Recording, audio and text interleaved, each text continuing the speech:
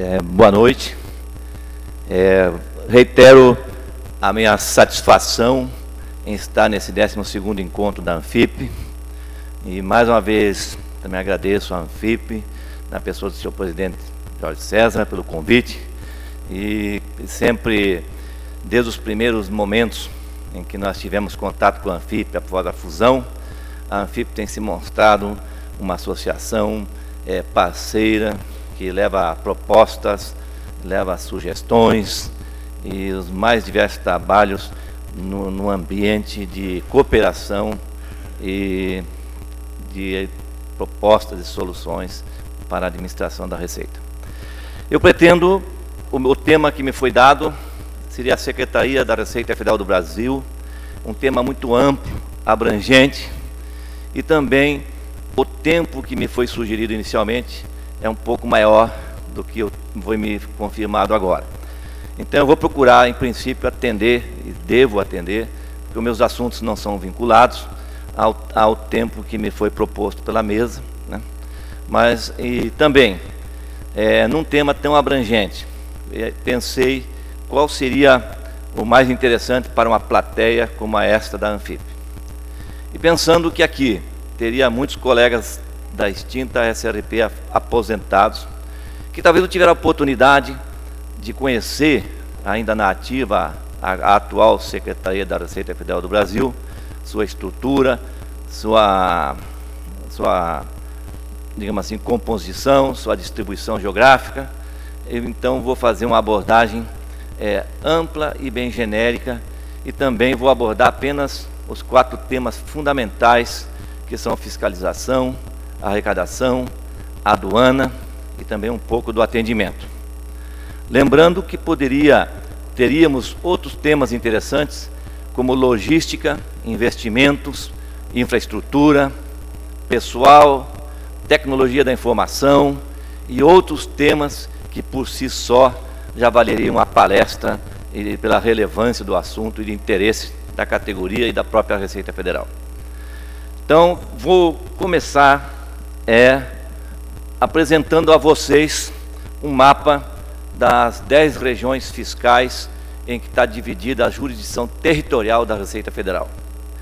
A primeira região fiscal, nós já comentamos que é a região que está sediando, aqui tá, se encontra a sede de Bonito, se encontra a primeira região fiscal, que é o, os estados de Goiás, Distrito Federal, Mato Grosso, Mato Grosso do Sul e Tocantins.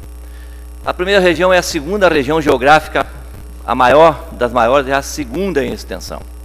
Nós vamos comentar um pouquinho sobre as fronteiras. A segunda região fiscal, que é a, a maior região geográfica, abrange o Amazonas, Pará e todos esses que estão em verde. Essas regiões têm características bem diferentes. Cada administrador tem que lidar com as suas diferenças, seus problemas geográficos. A segunda região também com a distância, e, e principalmente a, a, a, distância e a falta de comunicação rodoviária ou somente comunicação aérea. Temos a terceira região fiscal, que é composta pelo estado do Maranhão, Piauí e Ceará. A quarta região, que abrange o Nordeste. A quinta região, que abrange Sergipe e a Bahia. A sexta região fiscal, que eu tenho, é somente o estado de Minas Gerais. A sétima, que abrange Rio de Janeiro e Espírito Santo a oitava região São Paulo, a nona o estado do Paraná e Santa Catarina e a décima o Rio Grande do Sul. Cada região tem um administrador, um superintendente, onde a administração da Receita Federal ela é basicamente o secretário da Receita, sua assessoria e dez superintendentes. E nas grandes decisões é muito importante, em todos esses casos, conseguir um consenso e uma adesão de todos os superintendentes representam, em princípio, também os anseios de suas regiões.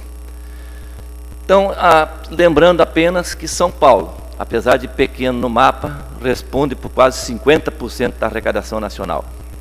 E que a segunda região que responde em arrecadação é a sétima região, Rio de Janeiro e Espírito Santo, e a nossa a primeira região está em terceiro lugar na importância de arrecadação. No ano passado, em 2009, quando a crise econômica atingiu o Brasil e havia necessidade de manter a arrecadação para acompanhar a previsão orçamentária. Todas as regiões foram chamadas a trabalhar mais, a ter criatividade, a se empenhar no sentido de tentar manter a arrecadação. Foi um, um ano difícil, e principalmente nos meses de agosto, setembro e outubro, e somente se enxergou uma luz ao final do túnel no início do mês de novembro.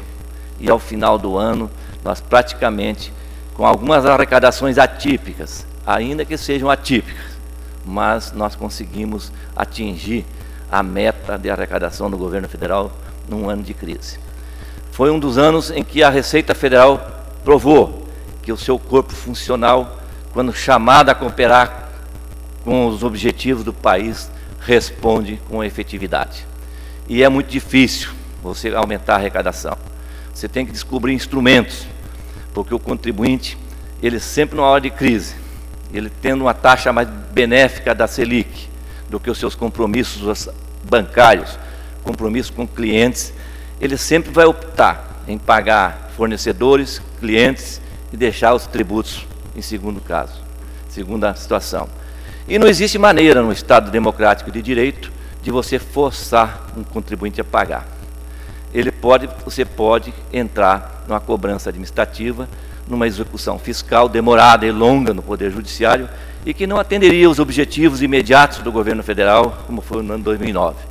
E aí que eu digo a vocês, foi a resposta da Receita Federal com iniciativa, criatividade, empenho e dedicação que chegou ao resultado do ano 2009. Já 2010, todos os sinais econômicos demonstram que será um ano melhor, mas mesmo assim já demonstram a arrecadação dos meses de janeiro a abril e do próprio quadrimestre. Mas isso quer dizer que, como disse o próprio secretário, mesmo assim, nós não colocaremos a Receita Federal em termos de arrecadação no piloto automático. Até porque se colocasse, certamente, se permanecerem as previsões, nós acho que chegaríamos ao resultado previsto. Mas nós temos que nos empenhar em melhorar sempre o nosso trabalho de arrecadação.